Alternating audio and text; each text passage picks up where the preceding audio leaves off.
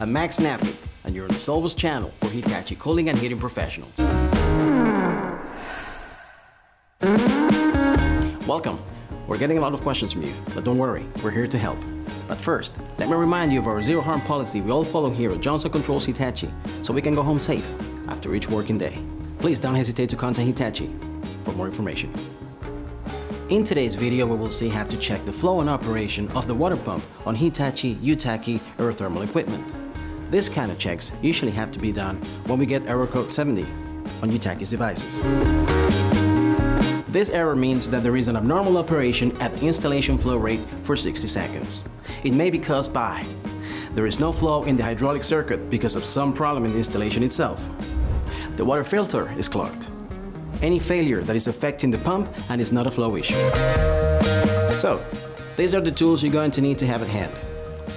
Glasses, gloves, spanner, screwdriver, needle nose pliers, and of course, your mobile phone to carry on watching the video. The first two causes happen when there is no flow in the equipment.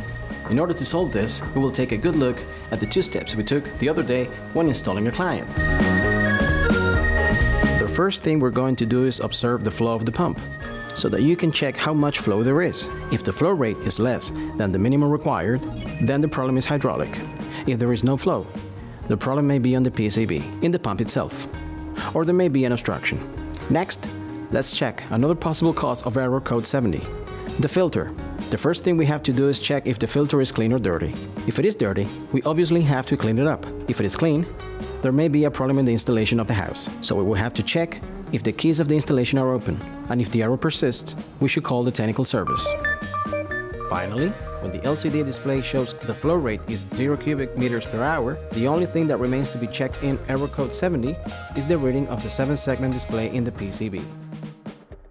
To do so, we must check the parameter FF. The technical support of the manuals is essential for the verification of this parameter, because values can have different meanings. 100.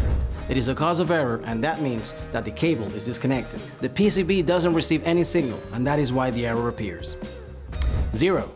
It is a cause of error and that means that there is a short circuit. The PCB receives permanent signal and that is why the error appears. We may assume that the pump internal circuit is damaged. 2. Means that the pump has stopped.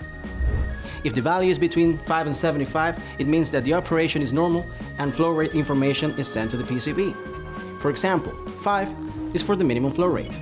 75 is for the maximum flow rate. Outside of 5 and 75, the values are fixed. More than 75, as you can see in the table, are fixed values. 80, 85, each value means a different problem of the pump itself. Notice that when the pump is sending a problem signal, the PCB cannot read any flow rate, so the LCD display shows 0 cubic meters per hour. If the value of the FF parameter is 85, the supply voltage drop-offs must be checked. And that is why it's important to check the FF parameter after putting Yutaki into operation and before it stops by error 70, since at that time the pump is disconnected. There is a margin of approximately one minute. This minute of waiting is very important because after that minute, when the alarm goes off, the pump is disconnected and when the pump is disconnected, it no longer has electricity and there is no message. I hope I helped you solve the problem. And remember, you can always visit the channel for any other alarms and incidents. And let me remind you of our call center, which you can always call for any other questions. Greetings, fellow installers, and remember, be professional and enjoy your work.